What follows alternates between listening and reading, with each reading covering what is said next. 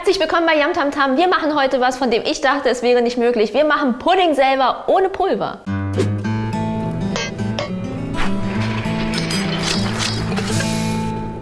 Als erstes brauchen wir natürlich einen Topf, in dem wir das machen. Das Rezept, was wir haben, was übrigens unten in der Videobeschreibung steht, ähm, ist ungefähr ein halber Liter. Deswegen gehen wir mal kurz einen Topf holen. Wir haben jetzt die 200 Milliliter Milch und gießen sie in unseren Topf. Das gleiche nochmal mit der Sahne.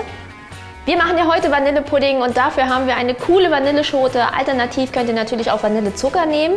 Falls ihr eine Vanilleschote nehmt, dann schneidet die einfach in der Mitte auf. Wir kratzen das ganze Mark daraus, da rein und wir schmeißen aber auch die Vanilleschote da rein, weil die auch total viel Geschmack abgibt. Aber äh, vergesst nicht, die dann wieder rauszuholen, weil keiner will das große Würmchen dann im Mund haben.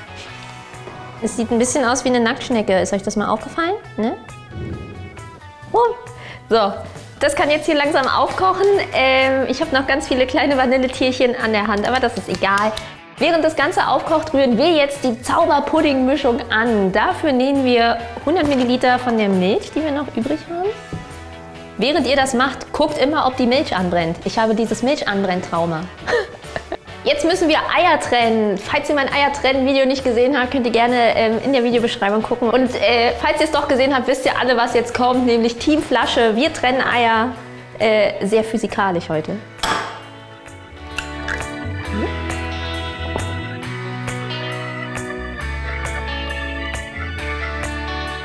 Das ist das Beste. Es ist das Allerbeste, wirklich. So, die zwei Eigelb kommen da mit rein. Zucker, und Schweißstärke. Und das rührt ihr jetzt schön glatt, bis keine gemeinen Klümpchen mehr übrig sind. Sieht gut aus. Das fängt jetzt hier langsam an zu kochen, deswegen holen wir die Schote schon mal raus, damit wir sie nicht vergessen.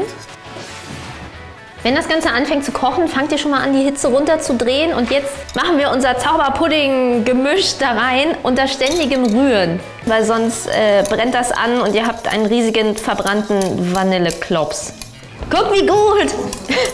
Ich fühle mich ein bisschen wie in dem Film, wo der Typ auf der Insel ist und der schreit so, ich habe Feuer gemacht und ich will die ganze Zeit schreien, ich habe Pudding gemacht. Ah. Jetzt kommt der Moment, wo ich immer verkacke, Sachen irgendwo reinfüllen, ohne dass Chaos entsteht. Schauen wir mal.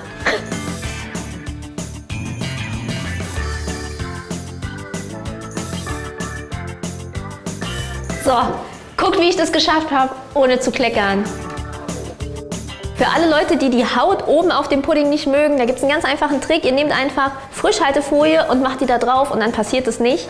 Aber ich liebe Puddinghaut, deswegen gibt es das bei mir nicht. Weil Vanillepudding noch nicht geil genug ist, machen wir jetzt auch noch Schokopudding. Im Endeffekt machen wir fast das gleiche, nur dass wir Schokolade mit reinkloppen. Jetzt kommt der wichtige Part. Wir nehmen hier einfach Zartbitterkuvertüre und wir brauchen so zwei von diesen fetten Vierecken. Das wird jetzt hier im Topf heiß wie letztes Mal und wir rühren wieder Zauberpudding-Mischung an, aber diesmal ist sie noch krasser, nämlich mit Kakaopulver. Und das rühren wir jetzt wieder zu einer glatten Masse.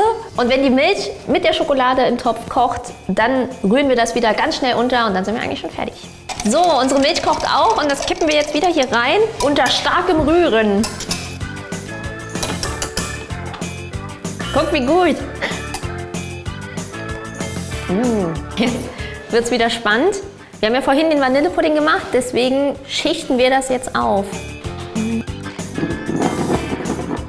Mmh. Mega gut. Ich bin sehr stolz auf mich, dass das hier so geklappt hat, ohne dass irgendwas explodiert ist. Äh, schickt mir gerne eure Fotos, falls ihr irgendwas nachgekocht habt. Da freuen wir uns immer sehr drüber. Falls ihr Fragen habt, schreibt das einfach unten in die Kommentare. Auch gerne, was wollt ihr mal von uns gekocht haben. Einfach unten reinschreiben. Wir sehen uns dann im nächsten Video. Bis dann und vergesst nicht zu abonnieren. Tschüss!